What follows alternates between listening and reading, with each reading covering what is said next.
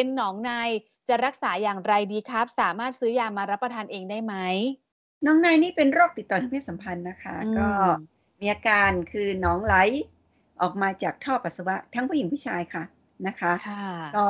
หลังจากมีเพศสัมพันธ์แล้วเป็นเป็นโรคที่มีลักษณะเฉพาะของมันเลยก็คือ มีเพศสัมพันธ์สามถึงเจ็ดวัน เฉลี่ยสามถึงปกติก็สามสี่วันเท่านั้นเอง หลังจากมีค่ะเพศสัมพันธ์แล้วก็จะมีอาการปัสสาวะแสบขัด แล้วไปซื้อยา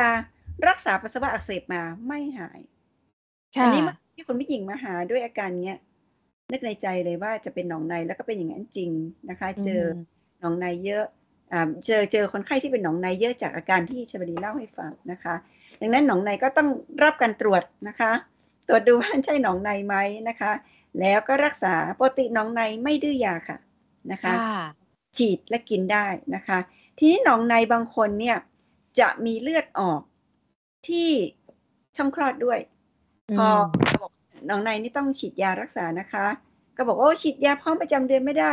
เดี๋ยวไข้ทับฤดูอะไรว่าไปจริงค่ะๆแล้วนะคะ ปัจจุบันมีประจำเดือนสามารถฉีดยาได้นะคะโดยเฉพาะโรคหนองในเนี่ยบางทีมันจะมีเลือดประจำเดือนออกมาด้วยนะคะ เพราะมีการอักเสบของโพรงมดลูกด้วยก็สามารถฉีดยาได้ได้ปกติหนองในนะคะไม่ไม่ค่อยจะดื้อยาสามารถรักษาหายได้นะคะ ค่ะ แต่ที่สำคัญค่ะ ที่สำคัญคือต้องรักษาคู่นอนค่ะ ค่ะโอ้ชมรีเคยเจอนะคะ เป็นหนองในก็รักษาคู่นอนก็บอกว่า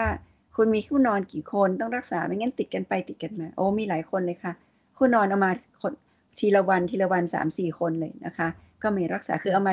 คนคนละวันเพราะกลัวจะรู้กันนะคะ ซึ่งก็เป็นข้อดีนะคะ ถือว่าคุณค่ะผู้ชายคนนั้นก็ถือว่าดีทีเดียวก็รักษาทุกคนเลย นะคะ หรือค่ะมีการสั่งคือฝ่ายหญิงอยู่จังหวัดนี้ ฝ่ายชายจังหวัดหนึ่งฝ่ายชายโทรมาว่าผมเป็นหนองในคุณรีบไปรักษา เออ อันนี้ก็อืมถือว่าดีนะคะ เพราะเขาอยู่คนละจังหวัดฝ่ายหญิงก็รู้สึกระแวงอยู่แล้วว่า ฝ่ายชายก็ต้องมีเพศสัมพันธ์เพราะว่าเขานานๆจะมาที พอพอมามีเพศสัมพันธ์ปุ๊บฝ่ายหญิงยังไม่มีอาการเลย